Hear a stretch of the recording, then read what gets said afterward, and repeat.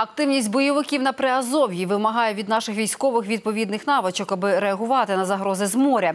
Зокрема, сьогодні на полігоні поблизу Урзуфа військові, прикордонники та бійці Нацгвардії проводили спільні навчання.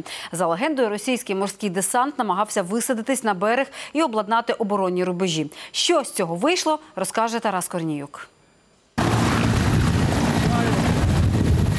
Восьма ранку вертоліт Мі-8 вже подано командувачу операції Об'єднаних сил Сергію Наєву. За годину слід бути на Приазов'ї. Курс на Маріуполь, портом до Азовської екваторії летимо разом із командувачем Об'єднаних сил Сергієм Наєвим, де сьогодні розпочинаються масштабні навчання по відбиттю висадки морського десанту противника. Ще в небі цікавлюсь, чому саме на узбережжі Азовського моря такі навчання. Невже росіяни готують там прорив? Сергій Наєв заспокоює, це планові заняття, аби всі підрозділи, що базуються в районі Маріуполя, були у повній бойовій готовності. Хто перший, той і виграє бій. Це основне правило. Ми працюємо на опередження ворожих дій, а не працюємо і не б'ємо потім по хвостах, як кажуть. Червоний прапор піднято, значить, навчання розпочалися. На горизонті бачимо два катери українських прикордонників, які виявили ворожі судна та пішли на перехоплення. За легендою, до нашого узбережжя наближаються три російські катери з морським десантом та два кораблі вогневого прикриття. Бій розпочато.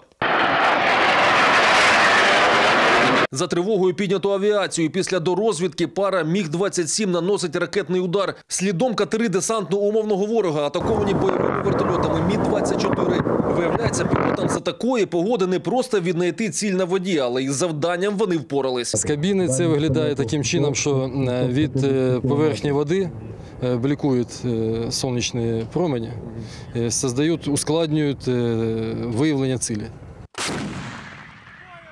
ускладнюють е, виявлення цілі. Засечь разрывы. Разрыв. Есть разрыв. А це вже командний пункт артилеристів для цивільної людини. Це вища математика. Аби уразити ціль в даному випадку ворожий десант, недостатньо просто зарядити гармату. Слід вирахувати все до найменших дрібниць. Ми обліковуємо всі також метеоумови. Наприклад, е, вітер, е, температура повітря, тиск повітря, е, температура заряду, все повністю обліковується і на визначених е, вирахованих установках ведеться вогонь.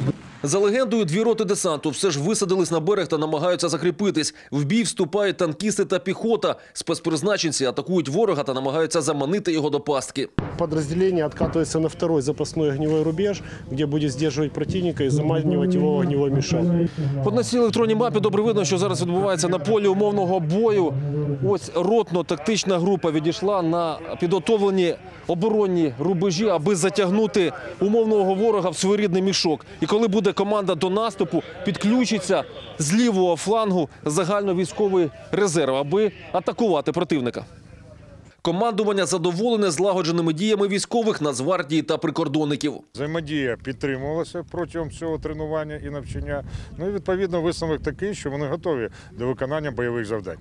З Донецької області Тарас Корнюк, Євген Задоя та Віталій Шемчук. Факти АЦТВ.